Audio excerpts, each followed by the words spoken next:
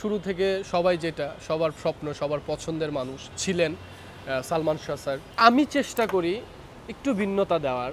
Romantic একটু ঝামেলা হতে পারে বাট না। রিসেন্ট হচ্ছে রাজ রিপার সাথে কাজ করেছেন আরও করছেন সামনে। মানে কেমিস্ট্রিটা আসলে কেমন? আসলে ও- ও না একটু অ্যাকশন টাইপের তো তো ওর সাথে আমার একটা রোমান্টিক কাজ হচ্ছে সেটা হচ্ছে যে একটা সিরিয়াল করছিলাম আমরা তো ওখানে বেশ রোমান্টিক সিন আছে। মানে রোমান্টিক বলতে হয় না যে সোবার রোমান্টিক যেটা ডায়লগে তো ভালো। মানে ও দেখলাম যে না ফ্লেক্সিবল কাজ করে মজা মজা হচ্ছে। মানে ও ইয়াটা নেই, জড়তাটা নেই, ভালো।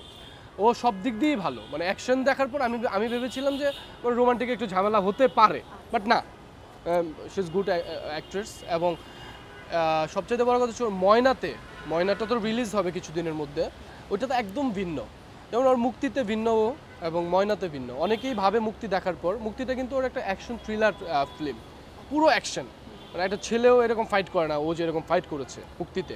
তো মুক্তিটা দেখার পর, আমি ভেবেছিলাম যে ও মেবি অ্যাকশনের জন্যই পারফেক্ট বাট না। অর্ধেক পাউডারে দ্বিগুণ উজ্জ্বলতা। নতুন রিন অ্যাডভান্সড অর্ধেক পাউডারে দ্বিগুণ উজ্জ্বলতা। তার ময়না দেখার পর আমার কাছে ফিল হলো না সে তো সব দিক দিয়েই পারদর্শী অলরাউন্ডার আচ্ছা আচ্ছা। তো সামনে নিশ্চয়ই একসাথে কাজ করার আরও অনেক প্ল্যানিং আছে। হ্যাঁ ওর সাথে তো আমার একটা প্রজেক্ট অলরেডি মৃত্যু উনিশ। এছাড়া একটা ওয়েব ফিল্মের কথা হচ্ছে। দেখি কি হয় ওইটা। ওটা হলে ওটা হবে। তাহলে ওটাও রাজরিপাই থাকছেন এই আর কি। অ্যাক্টিংয়ে অনুসরণ করেন এরকম কে আছেন? শুরু থেকে সবাই যেটা সবার স্বপ্ন সবার পছন্দের মানুষ ছিলেন সালমান শাহ স্যার। যাকে সবাই পছন্দ করেন সিনেমার দিকটা।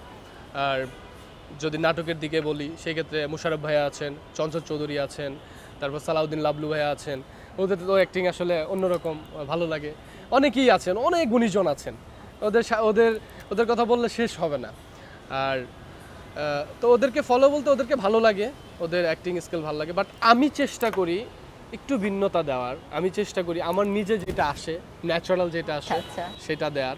কারণ ওদের দেখি এক্সপিরিয়েন্স নেই অভিজ্ঞতা নেই বাট নিজের মতো করেই ডেলিভারিটা দিই আর কি। শিশির সর্দার একটা কিছু হোক মানে আলাদা একটা আইডেন্টিটি হোক এটাই হচ্ছে। প্রথমে টেলিভিশন নাটকে কাজ করেছেন এখন সিনেমায় করছেন। বেশি অভিনেত্রী কাদের সাথে কাজ করা হয়েছে? সামিনা বাসারের সাথে কাজ করেছি আমি সেতুর সাথে কাজ করেছি সেতু আছে রেজমিন সেতু হ্যাঁ তারপর সাবরিনা তন্নি আছেন তারপর এসকে তৃষ্ণা আছেন শাকিলা পারবিন আছেন। অনেকের সাথে কাজ করা হয়েছে টুকটাক মনে নেই আসলে। আচ্ছা। আচ্ছা তো এখন রিসেন্টলি ফারজানা হচ্ছে রিক্তাপুর সাথেও কাজ করা হয়েছে। আচ্ছা।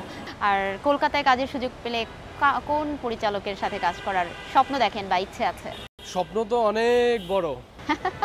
আচ্ছা আমরা একটাই শুনি। হ্যাঁ কারণ পূরণ হবে কিনা সেটা হচ্ছে অন্য বিষয়। কারণ আমি চেষ্টা করছি যে আগে বাংলাদেশের ডিরেক্টরদের কাজ শেষ করি এখন নাম কারণ এখন নাম বলার মতো এখন আমার ইচ্ছা আছে যে আমি অনেক বড় একটা আমি আমি যে- আমি চাই যে ইন্ডিয়ার একজনের সাথে কাজ করতে।